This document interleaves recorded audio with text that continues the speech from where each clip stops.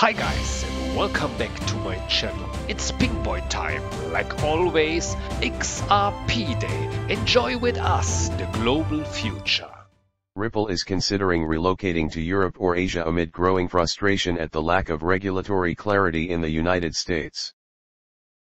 Speaking to Fortune magazine's Jeff John Roberts at the October 6th LA Blockchain Summit, Ripple co-founder Chris Larsen said the United States was woefully behind in preparing for the cryptocurrency-based next generation of a global financial system. Coupled with U.S. authorities' policy on regulation through enforcement and Ripple may consider leaving the country behind entirely. The message is blockchain and digital currencies are not welcome in the U.S., Larsen said.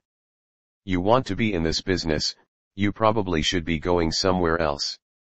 To be honest with you, we're even looking at relocating our headquarters to a much more friendly jurisdiction. Chris Larsen speaking at LA Blockchain Summit.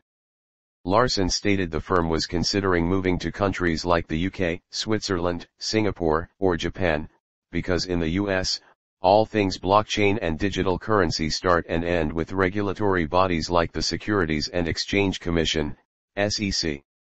I don't think that the posture at the SEC today can possibly get worse for the crypto and blockchain industry. It's just crush it and push it away. Ripple CEO Brad Garlinghouse explained further in a tweet. Responsible players like Ripple aren't looking to avoid rules, we just want to operate in a jurisdiction where the rules are clear, he said.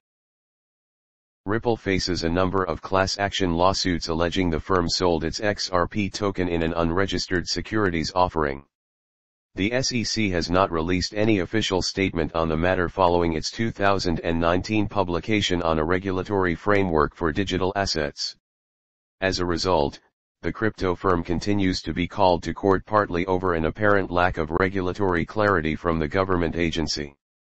A federal judge recently denied a motion by Ripple to dismiss a lawsuit filed by investor Vladi Zakinov in 2018 alleging the XRP token is a security under California law.